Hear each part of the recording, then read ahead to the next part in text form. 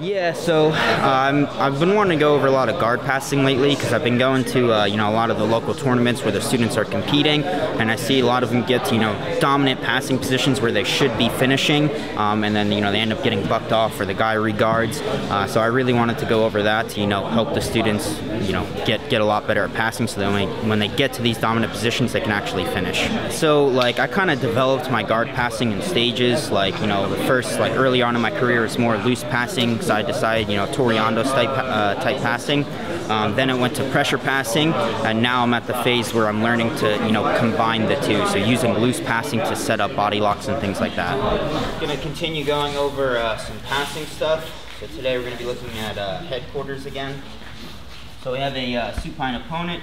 From here, we're just gonna come out. We're gonna grip both of his shins, and I'm gonna step one leg to the inside. Now from here, I'm going to begin driving down my knee, uh, knee towards the mat and basing my two hands out above my opponent's head like so.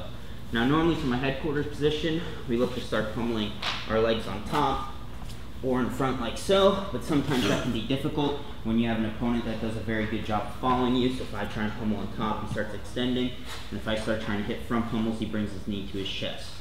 Whenever I have a, uh, a difficult time hitting the, uh, the standard pummels, what I like to do is I'll lean my weight forward, I'll take my left leg, and I'll pummel it to his hip like so. Now from here, I'll just extract my right leg, and I'll come up vertical. So essentially what I'm doing is I'm trying to bait a cross-ashi entrance on my left leg.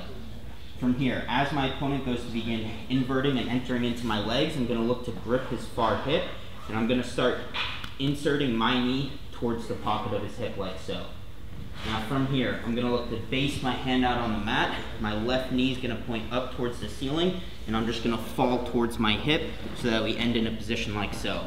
From here, I wanna have both of my legs bent, okay? If my legs are straight, it's gonna be very easy for him to put his back on the mat and start turning in. So, once we're in this position, we have two legs bent, we're actively pinching our knees, and uh, my knees are pointing towards the ceiling. From here, I can fall down to my right elbow and I can flare my knees out towards my left hand side as I grab my opponent's hip and this will bring his back closer to me. From here I'll begin reaching for his trap. Far trap is preferable, but if it's too far away, near trap will do. From here, I post my left foot inside his calf and I begin using these three grips to begin pushing him down and inserting my first hook. Now from here, it's gonna be fairly easy to start reaching for our seatbelt, bringing our knee to his top hip, shrimping out, and then inserting our second hook. So once again, we have a supine opponent. We come out, we grab two shins, and we step to his hamstring. We settle down into a headquarters position, and we feel like we're having a difficult time hitting the, uh, the normal pummels. From here, I begin leaning my weight forward so that I can pummel my left leg through to his hip. Now I extract my right leg and I come up vertical. As my opponent goes to begin inverting into my leg, I look to start reaching for his far hip. I begin lowering my level and turning my right knee in like so. I post my right hand on the mat as my knee penetrates the pocket of the hip, and now I can just sit down to my hip and end in this position. From here, again, both knees are pointed towards the ceiling and my legs are bent and we're actively pinching our knees together. I'm grabbing his hip. I flare my knees out towards my left-hand side, which brings his back closer to me. And now we reach for either near or preferably far trap. I post my left leg inside his calf. I use these three grips to push him down, and I insert my first hook. From here, it's fairly easy to start locking up our seatbelt, bringing our knee to his hip, and then inserting our second hook. One last time. So we have a supine opponent. We step uh, into the headquarter position and we lower our level down. We're having a difficult time hitting the normal pummels, so instead we pummel our left foot to his hip, right leg comes out, and we go vertical. From here, as he goes to start inverting into our legs, we grab his hip, post our right hand on the mat, and I start driving my right knee into the pocket of his hip like so. I sit my hip to the ground, I back step with my left leg. Once again, knees pinched, my legs are bent, and the knees are facing towards the ceiling.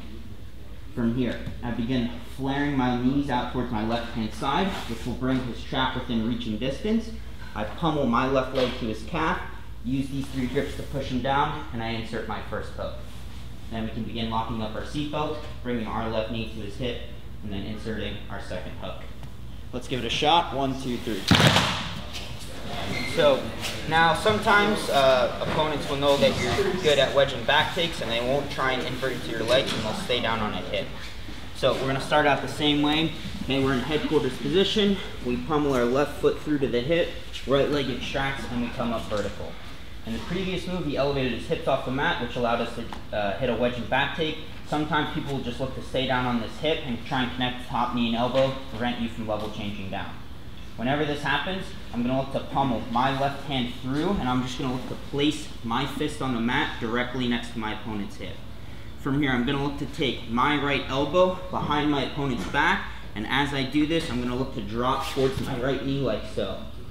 Now from here, it's gonna be fairly easy for me to begin back stepping out with my left leg, scooping underneath my opponent's bottom knee, and then walking towards his knees to point away so that we can secure the pin. So once again, we start out in the headquarters position, we pummel our left foot through, right leg extracts, and we go vertical. This time, instead of trying to invert into our legs, it just connects top knee and elbow to prevent us from level changing down. From here, left hand pummels in between my opponent's hip and elbow, and I just place my fist on the mat with my thumb pointing towards his hip. From here, right elbow shoots behind his back as my right knee drops down, and we end in a position like so. From here, it's fairly easy for me to begin back stepping out with my left leg. From here, I look to scoop underneath my opponent's bottom knee, and now I can use this scoop grip to walk my opponent's knees to face away, and then transfer up to the head and start securing the pass. We start out headquarters position, left leg pummels through, right leg comes out, we go vertical. He connects top knee and elbow, left hand pummels in between his uh, elbow and his hip. We place our fist on the mat. From here, right elbow shoots behind my opponent's back as I drop to my right knee and my left knee points out in this direction. So now it's fairly easy to begin back stepping out with our left leg, scooping underneath our opponent's bottom leg, and then walking his knees to face away and then transferring up to the head to secure the pass. Let's give it a shot. One, two, three. Uh, just uh, like the pressure here. Am I am I trying to get my not my hips, my hips on the floor. Just like where am I directing? Like, yeah. So normally I like to keep my weight kind of more up towards his head. So let me see. I know what I'm doing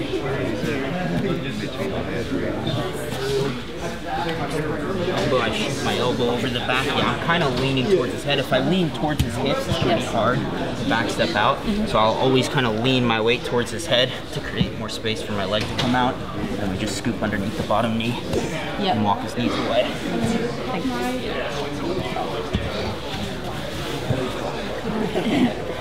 Good light, only 174 now. yeah.